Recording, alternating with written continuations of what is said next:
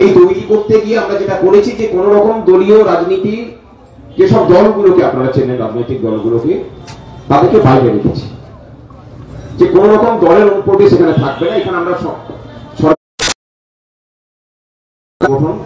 তৈরি করেছি। মেউ মেউ করবেন না। উনি কালকে মেউ মেউ করে বলেছেন, আমার কাজের অসুবিধে হয়েছে। একশো লোক চার ঘণ্টা ধরে নাকি মিছিল করেছে। আমি বসেছিলাম, উনি বসেছিলেন সেদিন।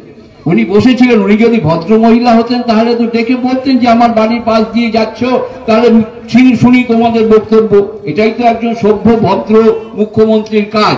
তিনি কেন্দ্রীয় সরকারের থেকে টাকা পেয়েও মিথ্যে কথা বলছেন যে, টাকা পায়নি। চিফ সেক্রেটারি আমাদের সঙ্গে মিটিং করে বলেছে হ্যাঁ সব টাকা পেয়ে গেছি। ন হাজার কোটি টাকা এখনও তারা হিসেব দিতে পারেনি। ছিয়াত্তর হাজার কোটি টাকা পেয়েছে, চৌষট্টি হাজার কোটি টাকা হিসেবে রেখেছে। এবং ওই যে যারা ডাটা এন্ট্রি অপারেটর বা যারা অনিয়মিত কর্মচারী আছেন সরকারি পদগুলোতে। কালকে আমি একটা গ্রামে গেছিলাম, দক্ষিণ চব্বিশ পরগনা আরেকটি গ্রামে। সেখানে একজন ওই রকম ডাটা এন্ট্রি অপারেটর সে বলছে যে, দিদি, চলে গেলে তো আমাদের চাকরি চলে যাবে। তা আমি তাকে বললাম, কেন চাকরি চলে যাবে?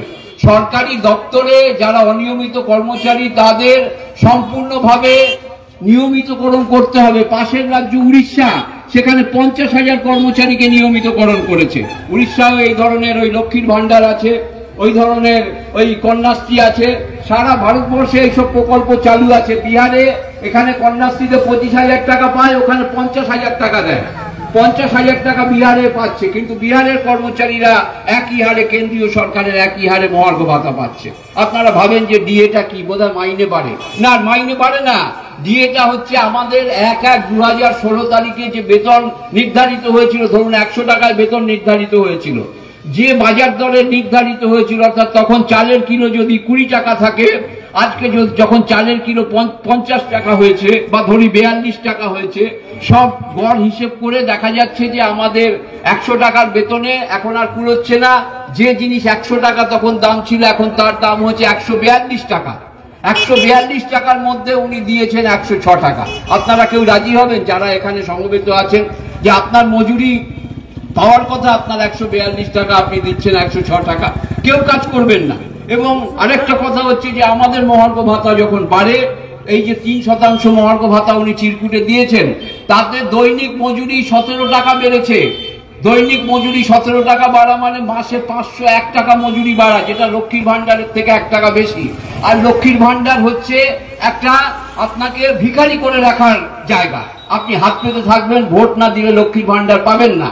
এই হচ্ছে অভিজ্ঞতা রাজ্যের মানুষের। ওই দলকে যদি ভোট না দেন, লক্ষ্মীর ভান্ডার পাবেন না। যেটা আপনি দৈহিক শ্রম করে, সম্মানের সাথে যে মজুরি আপনি পেতে পারেন, সেটা থেকে বঞ্চিত করছে। যদি আমাদের যে ছ শতাংশ থেকে বারো গুণ, যে তিন শতাংশ থেকে বারো গুণ, ছত্রিশ শতাংশ মহার্ঘ ভাতা আমাদের পাওনা, সেইটা যদি উনি দেন, তাহলে দৈনিক মজুরি হবে দুশো চার টাকা।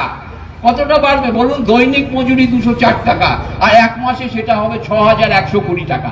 এই ছ হাজার একশো কুড়ি টাকা থেকে রাজ্যের মুখ্যমন্ত্রী, যারা শ্রমজীবী মানুষ আছেন, তাদের বঞ্চিত করছেন প্রত্যেক মাসে মনে করবেন।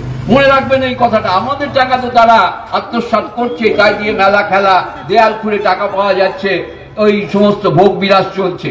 সাধারণ মানুষের টাকা মারছে আর সাধারণ মানুষকে বোঝাচ্ছে যে তোমাদের যদি টাকা দিতে হয় তাহলে এদের টাকা দিতে পারব না। কালকে উনি বলেছেন মুখ্যমন্ত্রী যে এটা নাকি ওনার অপশান, দয়ার দান, উনি খুশি হয়ে দিচ্ছে অথচ হাইকোর্ট পাঁচ বছর আগে বলে দিয়েছে যে এটা হচ্ছে লিগাল এনফোর্সেবল রাইট মানে এটা আইনসম্মত অধিকার সরকারি কর্মচারীদের মহার্ঘ ভাতা পাওয়া।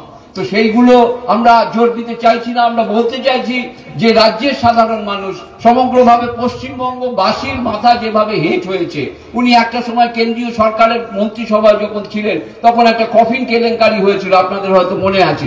সেই কফিন কেলেঙ্কারি কিছু প্রমাণ হলো না, তার আগেই উনি মন্ত্রিসভা থেকে পদত্যাগ করলেন, বললেন যে চোরেদের মন্ত্রিসভায় থাকি না। তা আজকে কাদের মন্ত্রিসভায় বসে আছেন, দিদিমণি? আপনার চারিদিকে তারা পরিবৃত হয়ে আছে, আপনার চারিদিকে আমরা নানা চোর ডাকাত, তারা সব সাধু পুরুষ তো। তারা সব সাধু পুরুষ, তাই জন্য বসে আছেন। ওনারা এখন পদত্যাগ করার কথা মনে পড়ে না।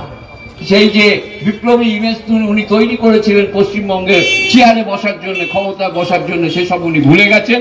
রাজ্যের মানুষ সেটা বুঝতে পারছে, তার জবাব দেওয়ার জন্য তৈরি হচ্ছে এবং সেই লড়াই, সংগ্রামী যৌথ মঞ্চ আজকে চালাচ্ছে। সেই পথ ধরেই আপনারা দেখেছেন যে আগামীকাল ওই গ্রুপ সি, গ্রুপ ডি যাদের বঞ্চিত করা হয়েছে, যাদের টাকা দিতে পারেনি বলে যাদের চাকরি হয়নি তারা আগামী দিনে হ্যারিকেন নিয়ে ওনার বাড়ির সামনে দিয়ে মিছিল করবে সতেরো তারিখে।